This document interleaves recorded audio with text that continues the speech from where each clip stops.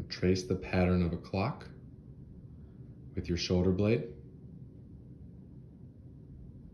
One, two, three, all the way around until you get to 12.